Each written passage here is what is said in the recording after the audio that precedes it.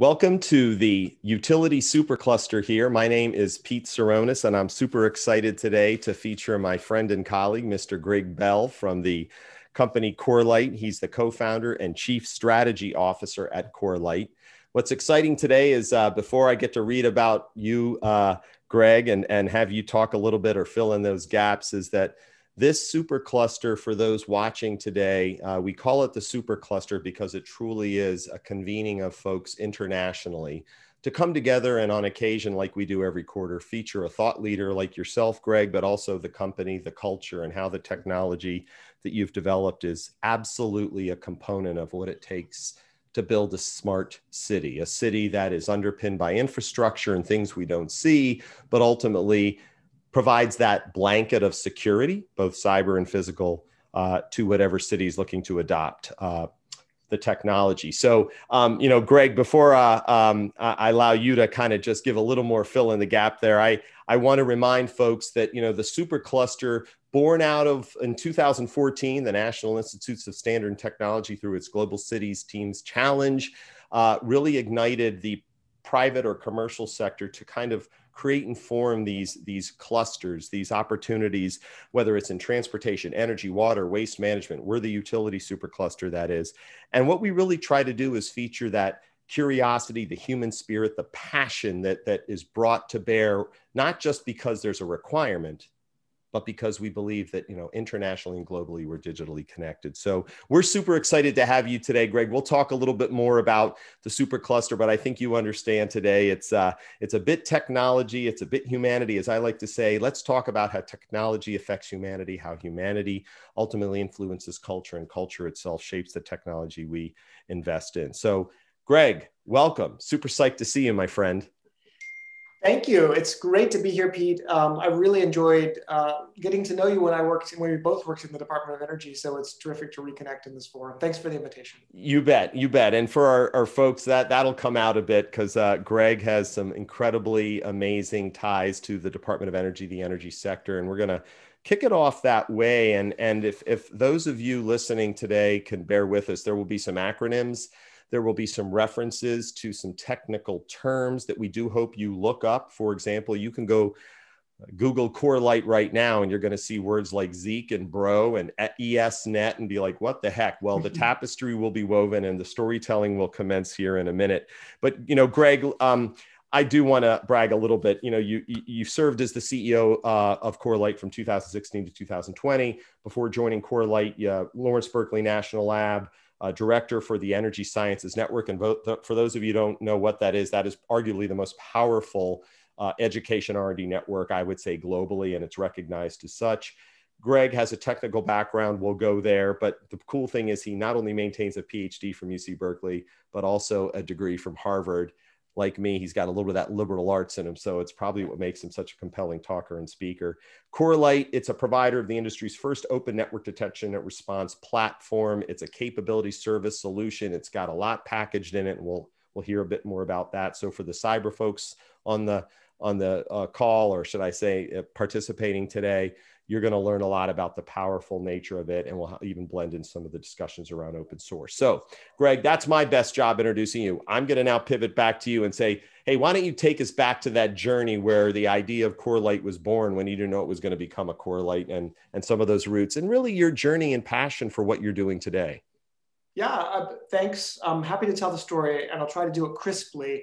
I really expected Pete to spend my whole career in the Department of Energy System, especially the the Office of Science part of it. Um, I start. I just got very lucky. My first technical job was at LBNL, highly technical, uh, uh, you know, sort of frontline networking technician, and I worked my way up through the ranks.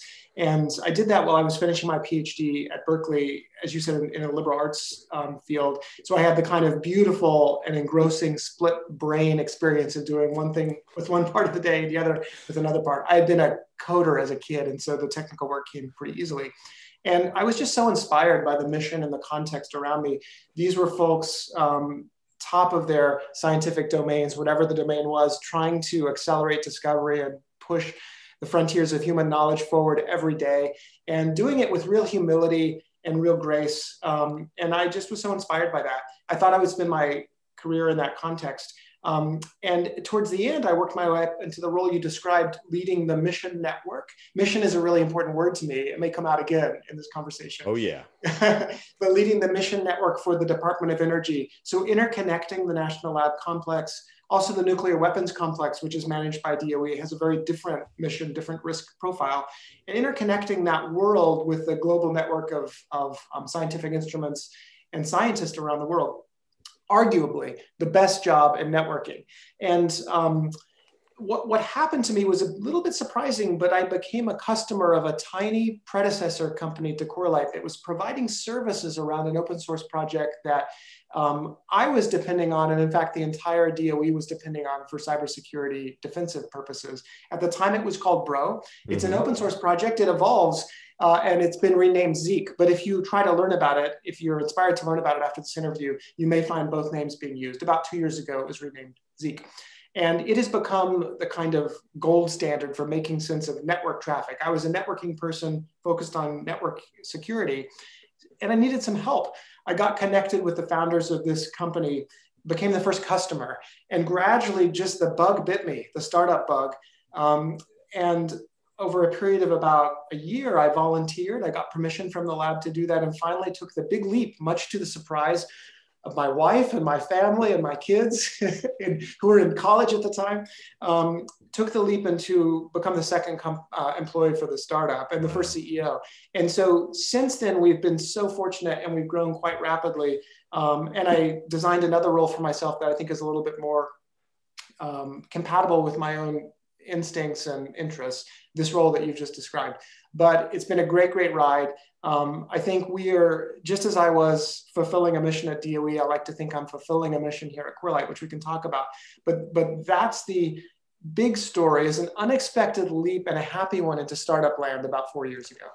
Well, Greg, that was you're great. By the way, you're an awesome speaker. I'm actually uh, taking notes, and not just about what you're saying, but like do this next time. Greg is awesome. Um, you're very kind. No, no, no. Seriously, man. The, the prep calls leading up to this, we knew this would be a walk in the park, so we're going to have some fun. So, so now I'm going to do some filler on a lot of what you said that I wrote down that really resonated with me, and I know will with the audience. Again, smart cities, the anatomy of a smart city is a little bit of this, that, and then some. Yeah. It's the 16 sectors that DHS defines, right, at least in this country, as those that we depend on. I think the actual definition, if I may, says that there are 16 critical infrastructure sectors whose, quote, assets, systems, and networks, whether physical or virtual, are considered to be so vital to the United States that their incapacitation or destruction would have a debilitating effect on security, national economic security, national public health, something we're living with today, or safety, or any combination thereof. And this is captured in Presidential Policy Directive 21, titled Critical Infrastructure Security and Resilience.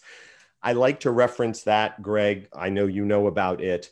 The fact that you have this networking background, you spoke to risk, and we'll get into risk mitigation, because really this is leading up to what I hope is while Greg Bell is amazingly awesome and a visionary and futurist and a, and a true academic, but also rolled up his sleeves kind of thought leader, you have something that companies and businesses should really take a look at to help secure that network. Is that a fair statement? Yeah, I think so. okay, so so um, when you talked about making sense of the traffic, I, I, I kind of want us to back uh, bounce a bit here because another thing in threes I like to talk about, we want to educate, we want to inform, we want to enlighten, we want people to walk away saying, I know it's probably in a box or appliance or something, but we want people to understand today, at least our community in the supercluster, Greg, why should I care?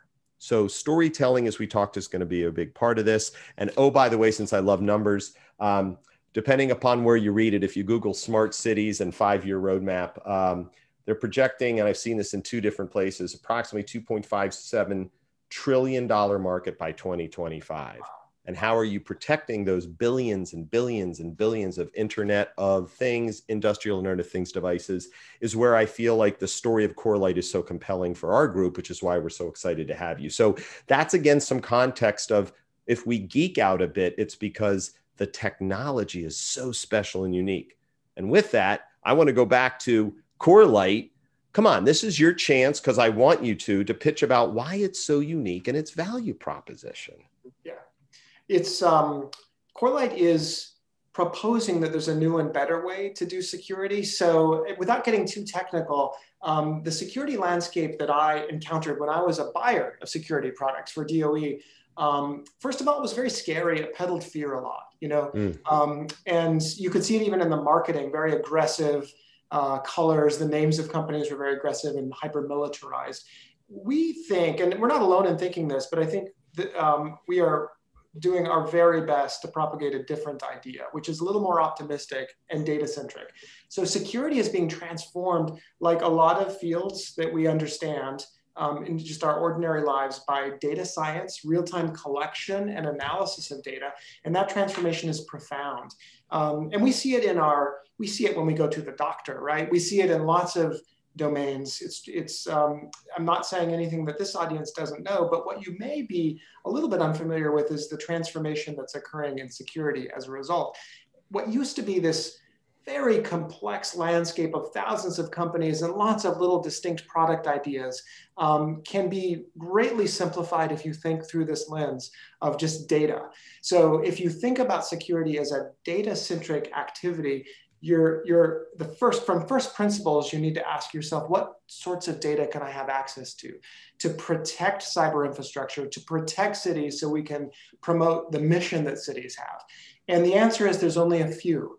Um, there's really only a few. There's not a hundred. You can get data from computers themselves from endpoints. You can get data from external sources of intelligence. Maybe it's the government or maybe it's companies that sell intel and you can get data from the network itself. So what Corelight is doing is trying to focus entirely on that last kind of work, which is to take data coming from the, the network, whether that network is at the core of the internet or in a, a, a, water processing plant or electrical utility substation, transform it into actionable information that helps cities and other organizations defend themselves more effectively, more quickly, more economically. So that's the high level pitch for Corelight. Yeah, but but that's a great pitch, and like I said, I think we can keep distilling down because I, I you know part of what I like to do as a former data center, and I have a background in telecom like you. My my mom, yeah. my mother always said, you know, you're going to appreciate. My mother's a, a a retired surgeon. My father was an architect. God rest his soul. I couldn't dissect a worm to save my life and I couldn't get a shot without freaking out even if it was just a finger prick can't stand blood. So here I was like, what am I going to do? Well, I'll go be a liberal arts major. Somehow I end up a CTO. Um, so kindred spirits, but no, we're all technologists in this world. And I think for those watching, whether, you know, it's the, I call it the Joe six pack, Joanne six pack to the academic. We always have an opportunity to learn and teach. And that's what's important since we carry around devices every day. And we don't register with by reading terms of, of agreement. We just need it, use it, want it. And then when it doesn't work, we go, what the heck's going on? Or for God forbid, yeah. there's a cyber breach. This is the, again, to me, high level value proposition of Corelight.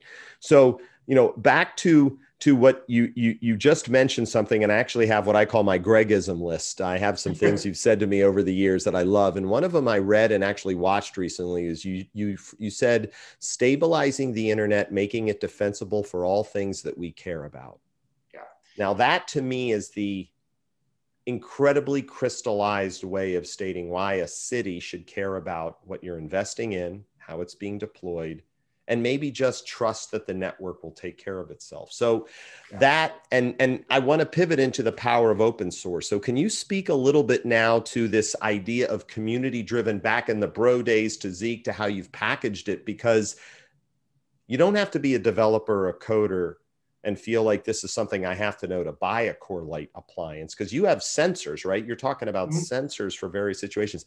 I want to go back to some of that DNA and how it led to this powerful, powerful solution you've developed.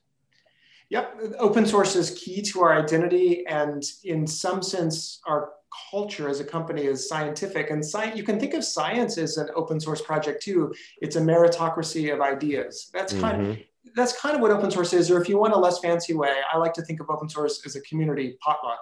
Um, and everyone's gone to those, a neighborhood potluck where, um, you know, over time your neighbors will notice if you just bring plastic cups and nothing else and you drink all the wine.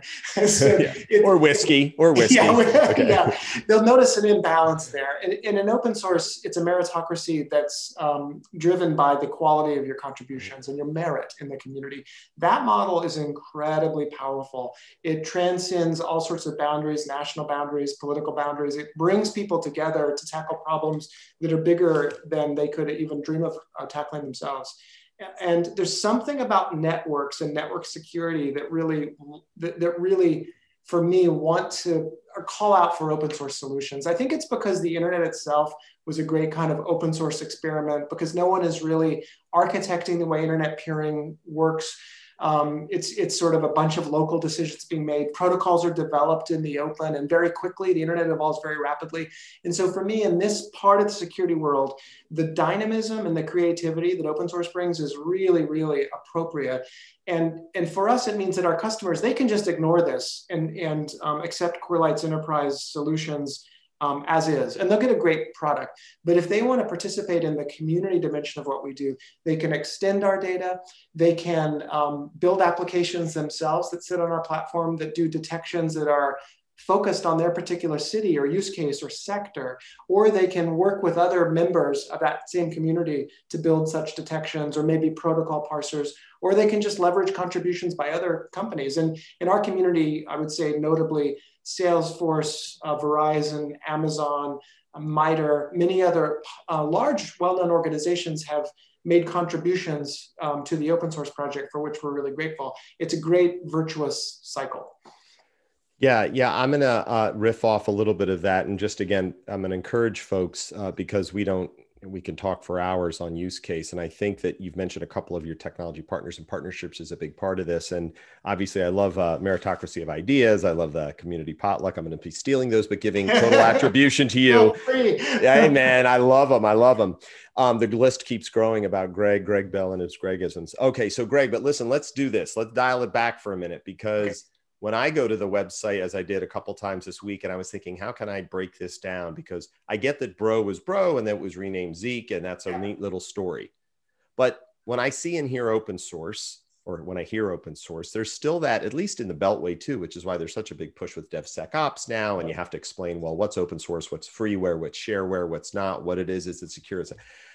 When it gets to though the differentiator between true open source, you know, what is known as Zeek, and then what Corelight has done to kind of package and fashion it, can you speak to maybe some of that? Uh, here's what you get uh, when you're buying a, a, an appliance. Because here's where I'm coming from. I work with utilities today. I work with transportation, manufacturing uh, clients, and the like. And and while they may appreciate what's on the inside, they just want to know what should i buy make sure it doesn't bring down my network and when i say well when you're when you look at a company like a corelight you're getting all this great dna and this thought leadership but they make something that yeah. while its roots might be an open source they've made it a little extra special and when i say that you know greg that's that's me talking about um, what I love, one of your white papers is seven reasons to switch from Zeek to the Corelight sensor. Can you talk about that and that value add of Corelight?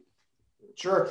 It, most companies that are monetizing open source projects today have what's called an open core business model. Okay. That, that's a little bit different from the classic Red Hat business model, but it's almost universal now for open source companies. And that means that they um, take an open source project, and in, in our case, all all the committers actually to the Zeek project work for Corelight. So we're the custodian of the project financially, and we take that responsibility really seriously. And we continue to sustain that and make it better and better. And then around that, we build a shell of enterprise features and capabilities. And some of the organizations in the world that love our open source software just don't need or want the enterprise features. But the more and better a shell we make, and we've been working really hard to build very compelling capabilities, the more enterprises reach a different conclusion, which is that, you know, I love what's inside, I love the data, and I love supporting the open source project, but I would like the easy button for deployment. And by the way, I need all sorts of integrations, certifications, capabilities that aren't really available in the open source project and, and just won't be. They're not really the destiny of the open source project to work on enterprise features. So we just have a nice feedback loop between a vibrant community and an enterprise, a, a company focused on enterprise sales that generates a revenue stream that supports the community. And that circle just continues if we're, if, if we're skillful in what we do. Um, but specifically, I, I will say, with no offense to my co-founders in the company, Zeek, the open source project, is a Unix power tool, as it's sometimes called. It's a very it's it's a it's a bit it's incredibly powerful. It's a little little fearsome. It's a command line tool for those of you that are technical. Um, so there's no UI, there's no API, there's no web interface, there's no SaaS version, there's no streaming data export, there's no policy layer that lets you decide, hey, what kind of data is important to me, um, a water processing plant or, or a utility. And there's no automatic export into other technologies like my SIEM, Splunk, or Elastic, or whatever it might be. So we add all that, and it's actually quite a bit. Um, and we focus on doing that, you know, so effectively that our customers can take effort that used to be devoted to managing this fleet of sensors and re- reallocate that effort to higher value activities, incident response, forensics, or even mission oriented activities, you know, that are beyond security and, and um, you know, speak a little bit to, to the mission, what, what a city is in the first place. Yeah, well, I, I, I have a lot of, of spiraling streams of consciousness happening. So let me pick one of those out. Um, again, it's a great white paper, folks. The seven reasons to the one you hit on right there was, um, and I, I couldn't help. I was watching War Games. Remember that movie, War yes, Games? Sure. WOPR, the machine. I was watching that over the Thanksgiving holiday, and I was thinking Command Line. There was Matthew Broderick. I'm like, gosh, Command Line was like state of the art. Um, but but that was a great analogy, Greg, for those who were saying, look, you know, you can still use the power of Zeek but not many people out there do that sort of thing and when you're a federal agency i feel is you know the largest purchaser of it in the world 90 world 90 billion a year r&d 140 billion dollar market. Look at the sectors. We're going back to smart cities critical sectors. Uh, you know this is a case folks where technology is underpinning those 16 sectors we talked about that provide the quality of life that every city county municipality worldwide needs so that sensors on traffic lights sensors in cars sensors in the oceans you know buoys think tsunamis are, are working and can give us that uh, prescriptive and and predictive uh, analytics. And and again this is a sensor we're talking about not just this really smart guy and greg bell who knows how it all works behind the under the wrapper. But i like the idea of making your existing SIEM you know security information event management for those of you who think it, it's just a word it's actually an acronym um, more powerful. And i think that that's a a light bulb moment that i like to think is is is happening where it's not a replacement Corelight is, in my view, and tell me I'm wrong. Tell me I'm wrong, Greg, because we're going to pivot to the, the pitch and some of the challenges you face and what you hope people who go to your website or give you a call don't predispose themselves to thinking, oh, this is just like some, some other cyber tool that I have. I think it's a complementary sensor that will give you that actionable implied intelligence so you can automate where needed, but still rely on human intuition. Tell me I'm right or wrong. You're right. You're exactly right. And it is typically when when we're selling to customers, they've already made it. They've already kind of fallen in love with the data we provide. We can talk about why, but effectively, it makes the vital work in the security operations center, um, incident response, threat hunting, forensics a lot faster. So they've fallen in love with the data. They've decided it's better than legacy data sources, which are just a little too um, problematic for modern security problems. Uh, and they turn to us for um, a commercial version of it. It's highly complementary to other um, other pieces of the security landscape that a CISO, for instance, would think about. in fact, the, the, actually, I think one of the best and simplest um, security ideas to come out from Gartner in a while is the idea of the SOC triad. So um, Gartner's really simplified the landscape. There's a, there's a SIEM, as you just described, for aggregating data, doing searching. That's kind of where the workflow lives. And there's data that comes from endpoints and data that comes from networks. And we, as I explained before, we, we, we're not, we're not handling endpoint security. We're providing data that's highly complementary to it. When you think about to this audience, um, the importance of network data, network derived data is really on the rise, I think, because the number of unmanaged and probably unmanageable internet connected devices is rising just so rapidly.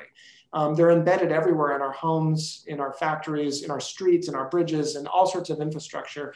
And they speak the internet protocol, IP or TCP IP. Um, yep. They can be compromised. They're running little embedded operating systems, Linux or something else. And the only way we can really understand um, if they're healthy or they're compromised is to monitor the network traffic that they produce because they're unlikely to be managed through uh, endpoint detection technology. Um, and I think the number of those devices and the ratio between those sorts of devices and devices like my laptop is, is changing very rapidly. And for that reason, people are really focusing more and more on solutions like Corelight that try to make sense of network data.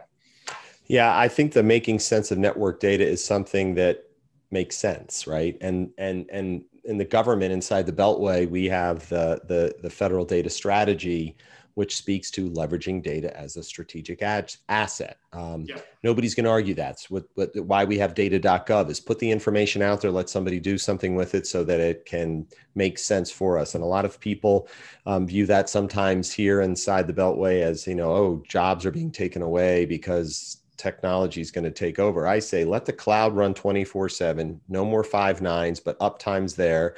Let it create because it likes to run. It doesn't need caffeine, just power, mind you. Um, and then let the, the human intellect look at and still use the most powerful brain on earth, which is the brain, um, powerful network on earth. And, and and then we can still make decisions. That's what speaks to the 21st century workforce. So, bringing it back a little bit to something you mentioned about um, aggregation and network derived data. Um, coming from um, a recent article I read. It was Smart Cities World or Die. Forgive me, those uh, under awesome publications. Smart cities are cities built on smart and intelligent solutions and technology that will lead to the adoption of at least five to eight of which I will announce smart parameters. These include smart energy, smart buildings, smart mobility, smart healthcare, smart infrastructure, smart technology, smart governance, and smart education, and the smart citizen. So when I hear smart cities, right, a city is made up of all of those components. And to me, when you talk about sensors, the next co- comment was or statement was the rise of smart cities has created growth opportunities for sensor makers. There are electronic sensors, there are infrared sensors, there's thermal sensors, there's proximity and lidar sensors. There's so so you know, can we talk just for a New York minute here, um, Greg, about um, the the sensor component, the sensing, and and how important. Um, maybe this isn't the secret sauce, but when I think about the buyer of Corelight, can you give us a today a typical Corelight buyer is this type of business? Because again, the global audience we have, I don't want people thinking, "Oh, I'll just run down to Best Buy and get a Corelight sensor," right. or are they there? Give us a typical buyer of your solution. Yep, for our solution today, this may change over time as we grow because our ambitions are, are large. Um, but our typical buyer now is a global 2000 company and one that has a fair amount of risk to manage. So that's nation state risk, reputational risk, infrastructure risk, financial risk. And they invest a large proportion of their IT budget in security. And in fact, a large proportion of their discretionary budget in IT. Um, they've got a SOC, a security operations center. They've got people for whom data and high quality data makes a big, big difference. So this isn't the mom and pop, you know, donut store. Uh, and, and this is probably not a medium sized business yet. This is a business with a, or an organization or an entity with a big physical footprint uh, and a lot of risk. And those are our natural customers today. Uh, and, you know, it shouldn't be surprising some unusually high percentage of those customers are in government for us, unusually high for a startup um, because of the deployed footprint of our open source project, both in the federal government uh, in the US and in um, US allies around the world. So um, that, that's, that sort of is a quick description. In the end, you know, data is a bit abstract it comes down to how people use it and how it changes their workflows and their lives. And that's sort of the really interesting part for folks working in the jobs I described, trying to figure out what's happening in the heat of battle and the cybersecurity incident. Our data helps them move quicker. And that's kind of where it, our buyers are people who have those sorts of employees trying to be faster and better, um, not, not organizations that are, say, outsourcing security.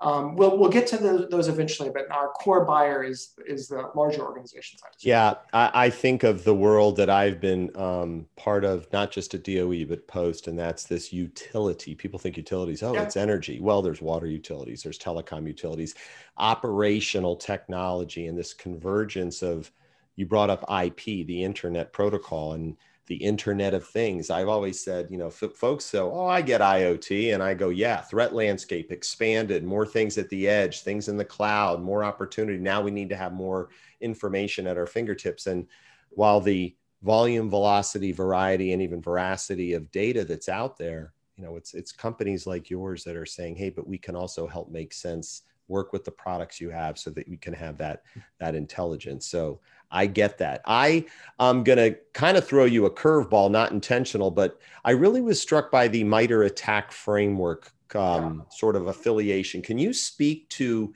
it, what it is, and how and why Corelight together with MITRE have really kind of created this pretty cool optic of the world?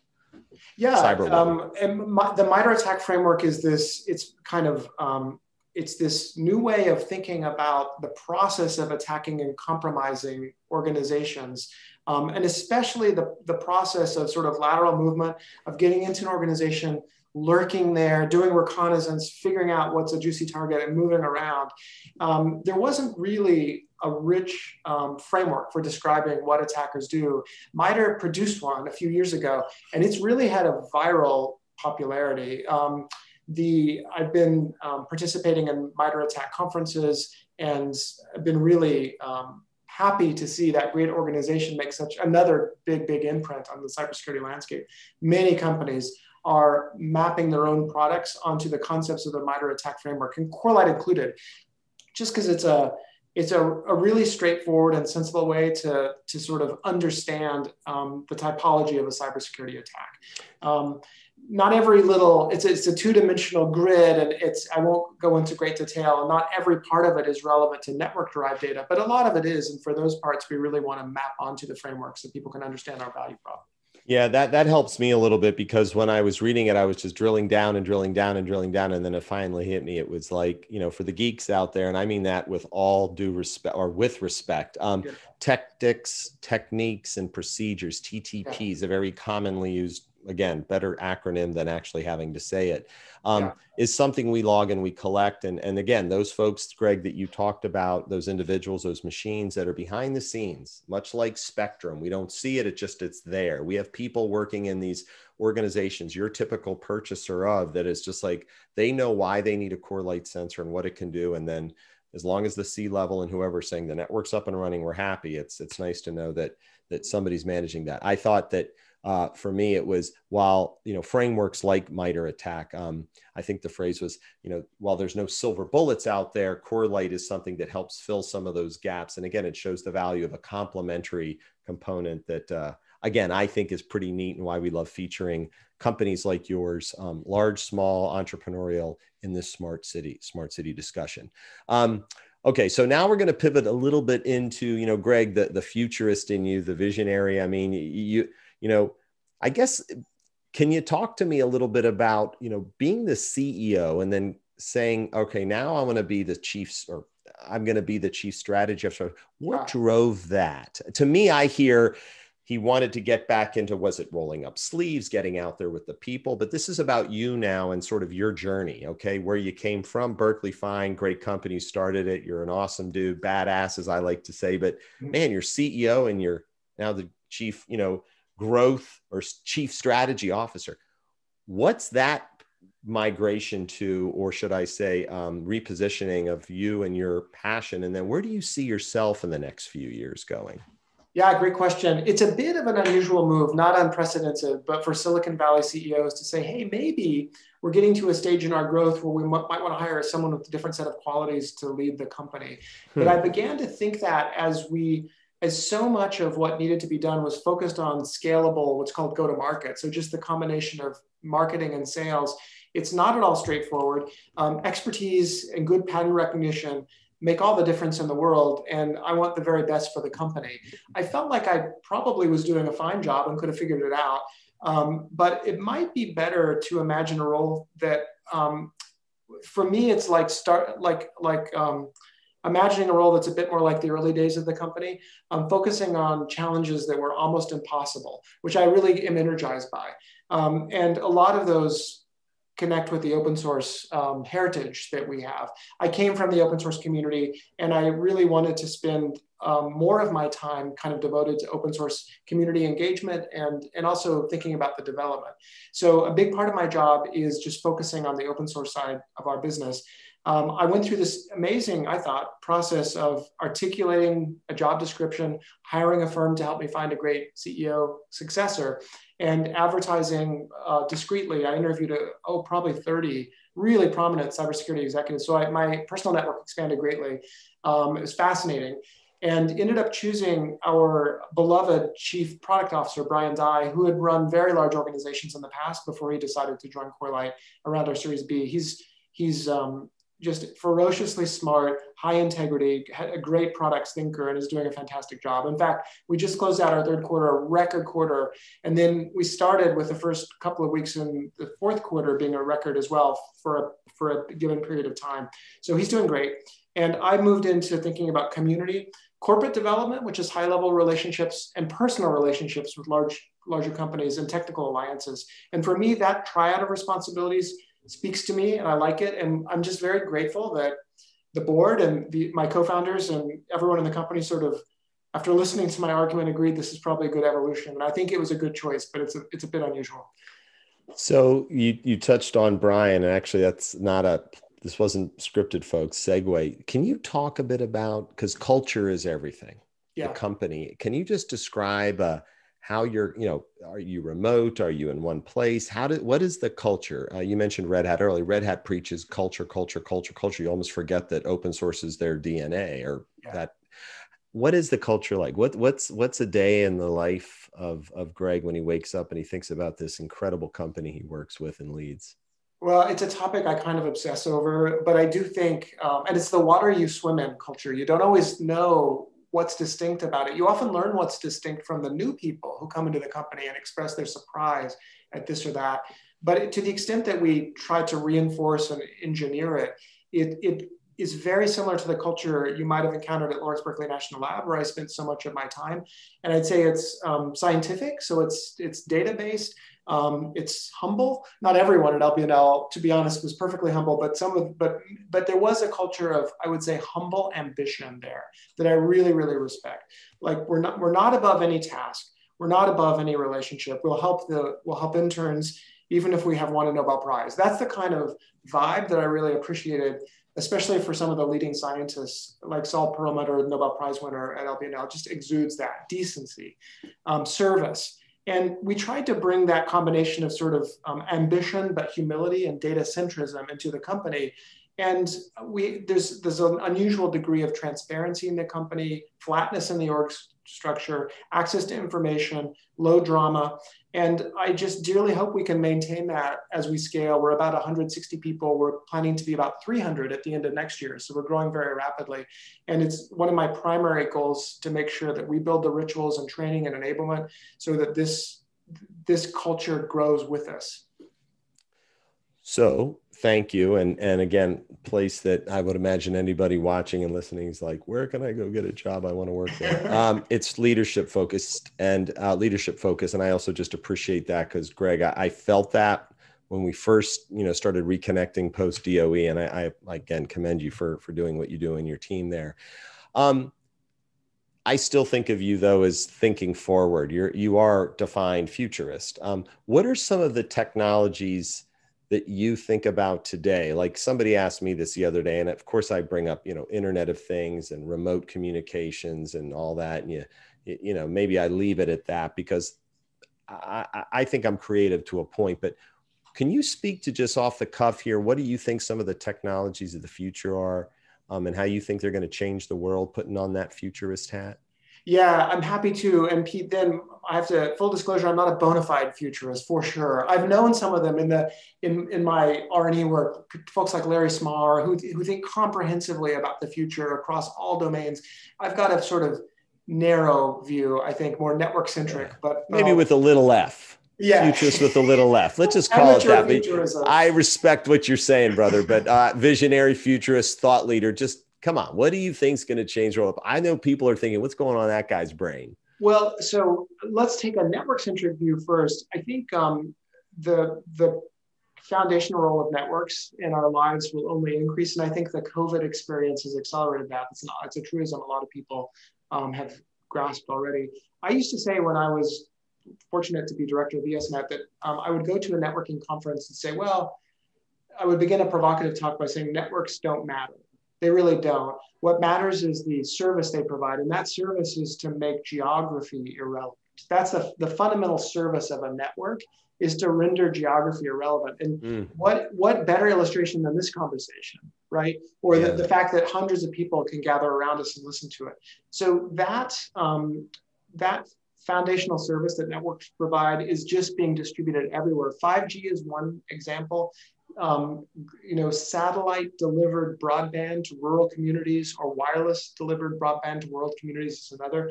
The fabric of connectivity um, will knit us together, you know, closer, more closely and closely, and we'll stop thinking about it. And our and kids will be born who never had an experience of geography being an impediment at all, which is just massively exciting and also a little strange, to be honest. Um, so I think, you know, I would say um, new modes of delivering broadband ubiquitously at very high speed with all of the sort of service delivery potential that provides, medical service delivery being a fantastic example, the democratization that that can affect, um, the ability to let people live where they want, um, and to assemble cities of medium size, not massive size, that are transformational and to provide better quality of life. 5G is part of that as well. The, the impact of 5G has been well discussed, I think, in your series as well. But I would, but I, I think the transformation of rural communities, tribal communities, previously, and inner city communities that have been poorly served, um, will accelerate as a result of COVID. That's just a few thoughts. Um, hey, listen, few. You've given me material to say, like, look, uh, I never would have been able to articulate it that eloquently because you're right. You nailed it. You talked about, you know, the future state of of what we believe the world is just every day evolving to, and we can't joke. I like to talk about when they invented the internet. They said, "Yeah, 4.3 billion IP addresses is going to be plenty," and now it's IPv6, which those geeks out there know is like this 340 undecillion are needed and it's yeah. probably not enough. But uh, stuff's talking to stuff and it's amazing how it's having impact on things like you said precision medicine and farming and the like. Okay two more questions and one of them's the parting shot. I know we're coming up to the end here but um, i do like to just because hearing your story and as we geeked out a bit it's an amazing story and again I, i'm so excited to have had an opportunity to feature you in corelight um, what would you be doing if you weren't doing this though? Like, where was the linchpin of the, I think I'm going to go all in on this Berkeley thing? I mean, what would you be doing if right now it was, Greg, you're not allowed to do it anymore. You've, d- you've been there, done that. We're passing the torch. What would you go do? Gosh, um, what I do with my, I, I have, um, I have a strange, maybe pathological need to always be on a steep learning curve. So I'd probably be doing something different right now i'm spending a lot of time um, trying to learn to make music for instance. So oh. it's it's a little more inward than than the things we've been discussing. Um, but in my life i've run um, even before grad school i ran a refugee services and gang prevention organization. I've worked for amnesty international. I've been a teacher when i was a grad student at berkeley. I think all the through line, aside from music and art, is probably some mission orientation and some connection pretty close to a university. So the honest answer is I'd probably be within a stone's throw of a university trying to build some mission oriented tribe to go forth and do and make an impact because that really really excites me even on a bad day in a, in a job like that you wake up um, and you know that it's worth doing so I, I, that's a little non-specific but i think those are the um, the outlines of what I might be doing if I'm not doing this. Okay, and now I'm sorry. I actually have one more because I love that side of it, humanizing the great, the wonderful Greg Bell, the wonderful Greg Bell, uh, and I think that's that's that's an amazing, amazing passion you maintain, and I think again that's what's probably led to a lot of your success is just having that that idea that there's more than just this. So um, the question is, uh, what's the one thing you wish you would have known when you began your career that you know now? That's a classic question because you've been yeah. on this journey. Like, what would you be doing? Not different. Yeah. But what would you wish you would have known? I might have tried the startup journey a bit earlier. I think I was impeded a little bit because I was in love with the mission at DOE, and I and I also thought maybe I didn't have transferable skills. But in fact, it's incredibly exciting. A lot of what I learned in the federal space about ambition and focus from my from peers who were actually scientist transfers. A lot of what I learned in other domains, the ability to write well, read a lot quickly, teach, the ability to speak are all highly transferable and kind of rare. So I, I probably probably would have had another startup in me. Right now, I don't. I'm really totally focused on Corelight, but I've loved it so much. For the most part, I might have started earlier. Well, I, love it because I'm a guy that took a leap of faith and left government yep. after 25 years, hung a shingle called Dots and Bridges, and was just like, I'm going to trust that something up here is going to get me where I need to be. And and mine was always, it still is, is stop trying to. You can't be the smartest guy in the room, but yeah, you, you, right. you can you can you know lean on those amazing people and folks like you who i consider a, not just a colleague but a pal and a friend and someone i know i can call and say explain this to me. Okay so here's the final one. It's the parting shot and i'm going to suck about 10 seconds out of the air for you to think about it. It's really what do you want to leave with this audience? You know we talked about smart cities we talked about technology we talked about you know how you built corelight and its roots what's something you know in the spirit of your authenticity your humility your curiosity what makes you you? This is as much about a thought leader folks as it is an inventor an entrepreneur a leader and someone who's changing the world. Um, you know greg you've said a lot of it. I don't know what's left in that you know tweetable think tank of yours but uh, yeah what would you like to leave in 30 seconds or less well, I, have been pretty aspirational in some of the things I've said. Maybe it'll be a little more concrete here, especially folks here maybe want um, a, to do. Um, there really is a better way to think about security and to do security. The old fashioned sort of black box, fear centric security mode is just not appropriate for the challenges moving forward, especially the challenges in the context we're talking about. So um, think about data centrism and security. Um, think about what the sources of the data you might need to defend your institutions and infrastructures might be. And if you're a, if, if you're a big organization, with the kind of risk profile I described, we'd be happy to talk to you about that in a, in a pretty low pressure way. Give us a call or send me a note. I'm Greg at Corelight. I'm very accessible. Um, but the, but we don't need to be, we don't need to give up on cybersecurity. It's a hard problem, but it's tractable, and we need to um, you know we, we can't not build the great infrastructure of the future because we're too afraid. We shouldn't be driven by fear. We should be driven by optimism, data centrism, and hope. That might have been more than 30 seconds. But. No, no, no. I, I, don't care. I just say that because I know people at least double it, but at least it's good. No, great parting shot. Uh, you know, Greg, thank you, thank you, thank you. Sure. We will be talking again. He mentioned you preempted me. You know, reach out to Greg. Greg at core is it Greg at corelight.com? Okay. Check out their website, folks, corelight.com, www. Great company You can always follow back up with me. I can help get you in touch with with with Greg and and and the incredible group out there. But Greg, look, thank you again. You you embody the tenets of what not only connecting dots, building bridges, and I like to call generating light bulb moments is all about. Uh, our community at smart within the smart city space, I can speak for my co-chair who you met, Mr. Uh, Ian Magazine up at Carnegie Mellon. We thank you. Um, we will keep you included as we move forward, and we're excited to uh, to talk again soon and see how you're taking Corelight just to another level. So thanks, pal. Thank you so much. That was terrific, Pete. Thank you. You got it, brother.